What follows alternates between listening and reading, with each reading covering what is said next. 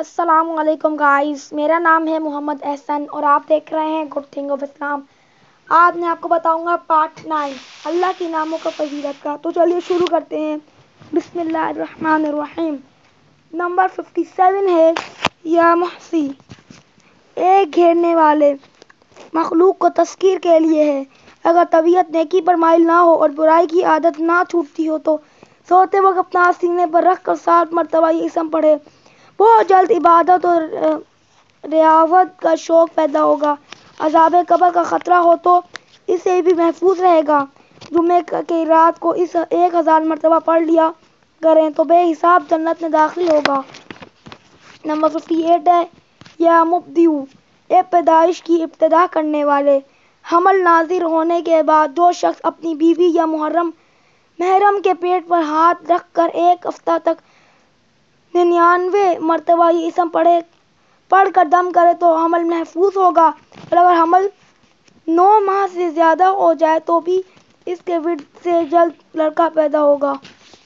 Number fifty nine ہے یا معیدو ایک دوبارہ پیدا کرنے والے۔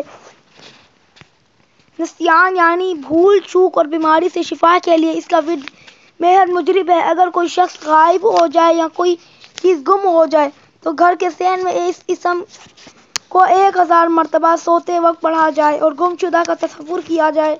جلد واپس آئے گا یا خبر مل جائے گی۔ نمبر سکسٹی ہے، یا محیو، یا محی۔ اے زندہ کرنے والے، عذاب قبر سے تحفظ کے لیے اس کا ورد ہر جمعے کو نماز جمعے، ہر جمعے کو نماز جمعے کے بعد سو مرتبہ کر لیا کریں۔ اگر گرفتاری یا جیل کا ڈر ہو تو سات روز تک ہر نماز کے بعد سو مرتبہ پڑھیں۔ بعض عاملوں کا قول یہ ہے کہ یہ اسم شوگر کے مرض کو کنٹرول میں رکھنے کے لیے بہت لاجواب ہے۔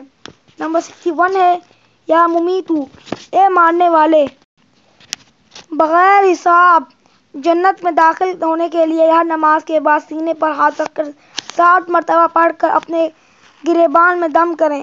بری عادت چھوٹ جائے گی، عبادت کا ذوق پیدا ہوگا۔ اگر کسی کا نفس برائی کی طرف مائل رہتا ہے تو اس اسم کو گیارہ دن تک گیارہ ہزار مرتبہ پڑھ کر پانی پر دم کر کے اسے پلائیں۔ انشاءاللہ اس کا نفس نیکی کی طرف مائل ہوگا۔ نمبر سکسٹی ٹو ہے، یا حیو، اے زندہ لاعلاج مریض کے لیے روزانہ تین ہزار مرتبہ پڑھ کر پانی پر دم کر کے وہی پانی مریض کو پلایا جائے۔ عام بیماری میں چینی کے برتن میں غلاب غلاب مشک سے گیارہ مرتبہ لکھ کر پانی سے دھو کر بیمار کو پلایا جائے۔ یا اکیس مرتبہ پڑھ کر مریض پر دم کریں۔ جو شخص اسی کثرت سے پڑھتا رہے، ہمیشہ تندرست رہے گا۔ نمبر سکسٹی تھری ہے، یا قیوم، اے خود زندہ، دوسروں کو زندہ رکھنے والے۔ تذکیر قلوب کے لیے بعد نماز فجر پانچ سو مرتبہ اونچی آواز سے یا حیو یا قیوم کا ورد کریں۔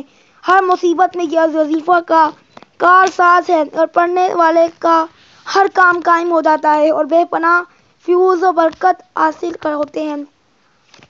اگر آپ کو میری ویڈیو اچھی لگی ہوئی ہو تو لائک کیجیے گا اور میرے چینل کو سبسکرائب کیجیے گا۔ تھینکس فار واچنگ اللہ حافظ۔